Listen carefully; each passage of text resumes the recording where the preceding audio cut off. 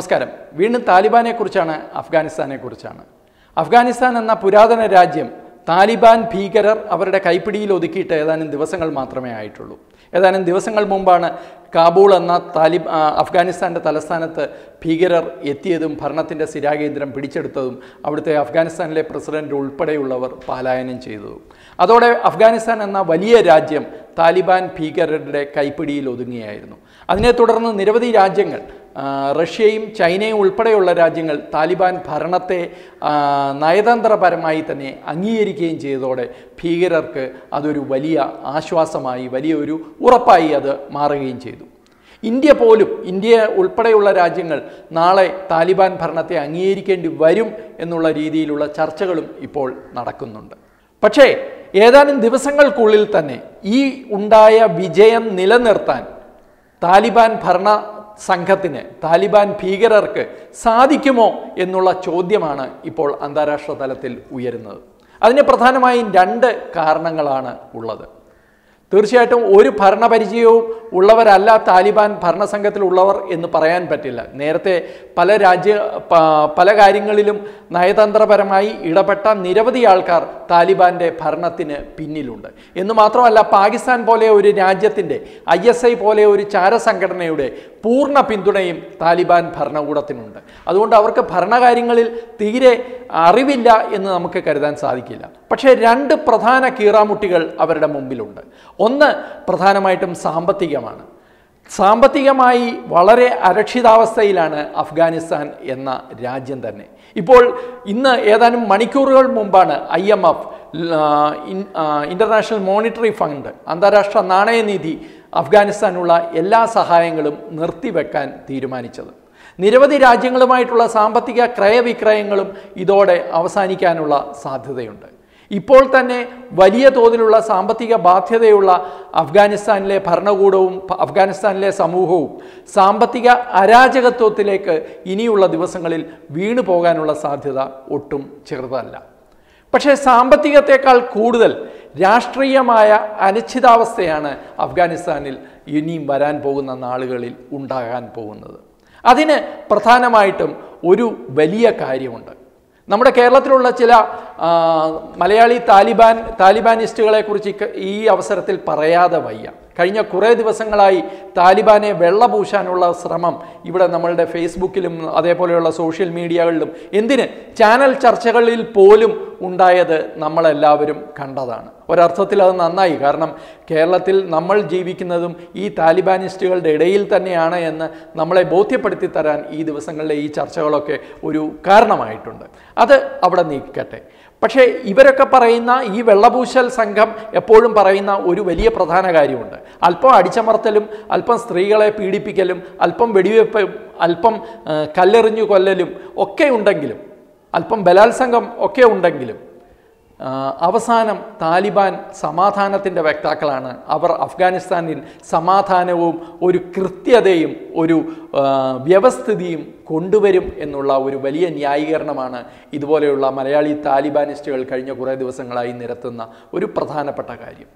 പക്ഷേ അങ്ങനെ ഒരു സമാധാനം അഫ്ഗാനിസ്ഥാനിൽ അടുത്ത ഇടെ എങ്ങും ഉണ്ടാകാൻ പോകുന്നില്ല എന്നുള്ള കൃത്യമായ സൂചന ഈ ഏതാനും ദിവസങ്ങൾക്കുള്ളിൽ തന്നെ പുറത്തു വന്നു കഴിഞ്ഞു. അതാണ് ഇന്ന് ഇവിടെ സൂചിപ്പിക്കാൻ ശ്രമിക്കുന്നത്. ഒരുപക്ഷെ ഇരുപത് വർഷം മുമ്പുള്ള അഫ്ഗാനിസ്ഥാനിലെ താലിബാനെ ശ്രദ്ധിച്ചിട്ടുള്ളവർക്കറിയാം. അവർക്ക് ഏറ്റവും വലിയ പ്രതിരോധം സൃഷ്ടിച്ചത് നോർത്തേൺ അലയൻസ് എന്ന് പറയുന്ന ഒരു സഖ്യമായിരുന്നു. ആ സഖ്യത്തിന്റെ നേതൃത്വം ഉണ്ടായിരുന്നത് അഹമ്മദ് ഷാ മസൂർ എന്ന് പറയുന്ന പഞ്ചഷീറിലെ സിംഹം എന്ന് വിളിക്കുന്ന ഒരു പോരാളിക്കായിരുന്നു.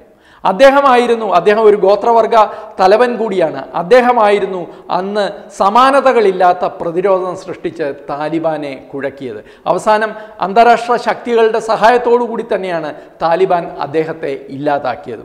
പക്ഷേ ഇപ്പോൾ പുറത്തു വരുന്ന വാർത്തകൾ അനുസരിച്ച് ഈ നോർത്തേൺ അലയൻസ് വീണ്ടും റീഗ്രൂപ്പ് ചെയ്യുന്നു. അവർ ഒരുമിച്ച് വരുന്നു എന്നുള്ള വാർത്തകളാണ് ഇന്നും ഇന്നലെയുമായി ഇപ്പോൾ പുറത്തു വന്നിട്ടുള്ളത്. എന്നു മാത്രമല്ല ഇപ്പോൾ അഹമ്മദ് ഷാ മസൂറിന്റെ പുത്രനായ അഹമ്മദ് ഷാ നയിക്കുന്ന ഈ നോർത്തേൺ അലയൻസിലേക്ക് ഒരു വലിയ ശക്തിയായി അഫ്ഗാനിസ്ഥാന്റെ താലിബാൻ ഭരണത്തിന് തൊട്ടു മുമ്പുള്ള ഭരണകൂടത്തിലെ വൈസ് പ്രസിഡന്റ് ആയിരുന്ന അമറുള്ള സലയെ കടന്നു വരുന്നു എന്നുള്ളതാണ്. അമറുള്ള സലയെ അത്ര ചെറിയ കക്ഷിയൊന്നുമല്ല.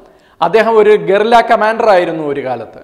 അതേപോലെ അഫ്ഗാനിസ്ഥാന്റെ ഇന്റലിജൻസ് സംവിധാനത്തെ ഇന്റലിജൻസ് ഏജൻസിയെ നയിച്ച ഒരു സ്പൈ മാസ്റ്ററാണ് അമറുള്ള സാലെ. അദ്ദേഹമാണ് പിന്നീട് അഫ്ഗാനിസ്ഥാന്റെ വൈസ് പ്രസിഡന്റായി മാറിയത്. അദ്ദേഹത്തിന് വിപുലമായ ഒരു ചാര ശൃംഖല അഫ്ഗാനിസ്ഥാനിലും പുറത്തും ഉണ്ടായിരുന്നു. അതുകൊണ്ട് തന്നെ അഫ്ഗാനിസ്ഥാനിലെ താലിബാൻ പടയോട്ടത്തിന് പിന്തുണ കൊടുക്കുന്നത് പാകിസ്ഥാനാണ് എന്നും പാകിസ്ഥാൻ അഫ്ഗാനിസ്ഥാനെ നശിപ്പിക്കാൻ ശ്രമിക്കുകയാണ് എന്ന് കൃത്യമായ തെളിവുകളുടെ അടിസ്ഥാനത്തിൽ അദ്ദേഹത്തിന് ലോകത്തോട് പറയാൻ സാധിച്ചത്. അതുകൊണ്ട് കാര്യമൊന്നും ഉണ്ടായില്ല എന്നുള്ളത് മറ്റൊരു വിഷയം. പക്ഷേ കൃത്യമായ തെളിവുകളുടെ അടിസ്ഥാനത്തിൽ അദ്ദേഹം ഒരു കാര്യം കൂടി പറഞ്ഞു. താലിബാന്റെ ഈ പടയോട്ടത്തിനിടയിൽ പാകിസ്ഥാന്റെ യുദ്ധവിമാനങ്ങൾ പാകിസ്ഥാൻ എയർഫോഴ്സിന്റെ യുദ്ധവിമാനങ്ങൾ പോലും ഈ താലിബാൻ ഭീകരരെ സഹായിക്കുന്നു എന്ന് അദ്ദേഹം വിളിച്ചു പറഞ്ഞു. അമേരിക്കയെ പോലും ഞെട്ടിപ്പിച്ച ഒരു വെളിപ്പെടുത്തലായിരുന്നു അത്. അങ്ങനെയുള്ള അമറുള്ള സലെ അദ്ദേഹം അഫ്ഗാനിസ്ഥാനിലെ പ്രസിഡന്റ് ഖാനിയെ പോലെ രാജ്യം വിട്ട് ഓടിയില്ല. മറിച്ച് അദ്ദേഹം ട്വീറ്റ് ചെയ്തത് ഞാൻ ഈ രാജ്യത്ത് തന്നെ നിന്ന് താലിബാനെ പ്രതിരോധിക്കും എന്നാണ്. ആ അദ്ദേഹത്തിന്റെ ആ ഒരു നിലപാടിൽ വലിയ അത്ഭുതമൊന്നുമില്ല. കാരണം ആയിരത്തി തൊള്ളായിരത്തി തൊണ്ണൂറ്റി ആറിൽ അദ്ദേഹത്തിന്റെ സഹോദരിയെ പീഡിപ്പിച്ചു കൊന്നവരാണ് താലിബാൻ ഭീകരർ.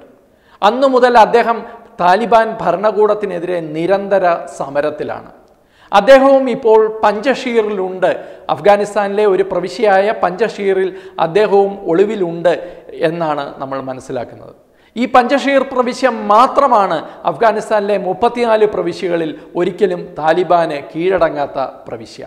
അവിടെയാണ് അഹമ്മദ് ഷാ മസൂർ സമാനതകളില്ലാത്ത ആ പോരാട്ടം നടത്തിയത്. ആ പഞ്ചഷീർ പ്രവിശ്യയാണ് സിംഹങ്ങളുടെ നാട് എന്ന് അറിയപ്പെടുന്നത്. അവിടെ ഇപ്പോൾ നോർത്തേൺ അലയൻസ് വീണ്ടും ശക്തി പ്രാപിക്കുകയാണ്. താലിബാനെതിരെ സന്ധിയില്ലാ സമരത്തിന്റെ സന്ദേശവുമായി. ആ സമരത്തിന് ഒരു മുഖമായി മാറാൻ കെൽപ്പുള്ള അതിനുള്ള കഴിവുള്ള അതിനുള്ള അനുഭവ സമ്പത്തുള്ള ഒരാളായി മാറുകയാണ് അമറുള്ള സലേ എന്നുള്ളത്. അപ്പോൾ ഈ അടിച്ചമർത്തലും ഈ പിടിച്ചുപറിയും ഈ ബലാത്സംഗവും ഈ വെടിവെപ്പും ഒക്കെയായി അവസാനം അഫ്ഗാനിസ്ഥാനിൽ സമാധാനം സ്ഥാപിക്കാൻ താലിബാന് സാധിക്കും എന്നാരെങ്കിലും ദിവാസ്വപ്നം കാണുന്നുണ്ടെങ്കിൽ അത്തരം ഒരു കാടൻ ഭരണത്തിന് എതിർപ്പ് അഫ്ഗാനിസ്ഥാനിൽ നിന്ന് തന്നെ ഉടനെ ഉണ്ടാകും എന്ന് ഈ താലിബാനിസ്റ്റുകൾ മനസ്സിലാക്കുന്നത്. കേരളത്തിലെ താലിബാനിസ്റ്റുകൾ മനസ്സിലാക്കുന്നത് നന്നായിരിക്കും. നമസ്കാരം.